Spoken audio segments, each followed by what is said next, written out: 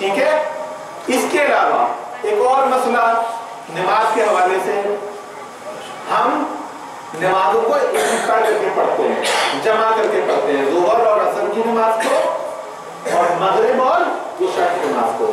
कोई हर्ज नहीं है कि उनको अलग अलग अलग करके पढ़ा जाए। जोहर को पहले और असर को शाम में पढ़ा जाए, इसमें भी कोई हर्ज नहीं है। जैसा मगरब को अलग लिया जाए और ईशा को देर से पढ़ा जाए, कोई हर्ज नहीं है। लेकिन हम इकट्ठा करके पढ़ते हैं आमतौर पर लोग ये हैं कि आप ऐसा क्यों करते हैं? जोहर और असर को इकट्ठे करके क्यों पढ़ लेते हैं और मगरिब और ईशा को इकट्ठे करके क्यों पढ़ लेते हैं? हमारे भाइयों की कुतुब में, बुखारी में तरमजी में रसूल अल्लाह से रवायात मौजूद है कि रसूल अल्लाह भी जोहर और असर को कभी कभार इकट्ठा करके पढ़ा करते थे और मगरब और ईशा को इकट्ठा करके पढ़ा करते थे।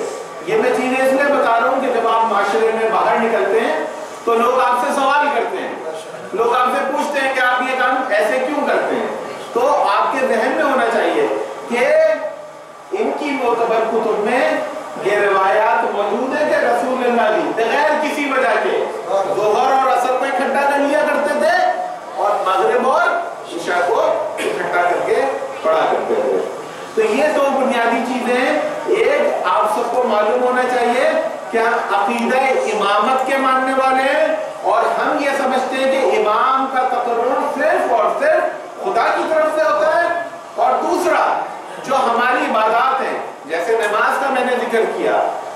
इसी तरह से और आ जाए रोज़े की अगर बात करें, मिसाल के तौर पे हम थोड़ी देर से रोजा खोलते हैं। हमारे भाइयों के मुकाबले में, बरादरान सुन्नत के मुकाबले में हम 12-13 मिनट के बाद रोजा अफ्तार करते हैं।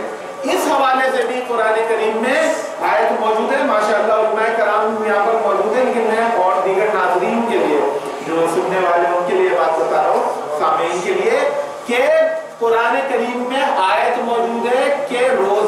रात तक पूरा करो। ऐसे कुरान है ये कि रोज़े को रात तक पूरा करो। हम कुरानी अहकाम पर अमल करते हैं। क्यों?